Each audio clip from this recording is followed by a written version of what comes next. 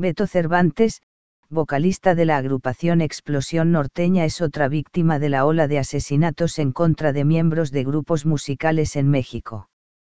El crimen ocurrió en un domicilio de la colonia Constitución en playas de Rosarito, Baja California, a donde arribó un comando armado que iba por él.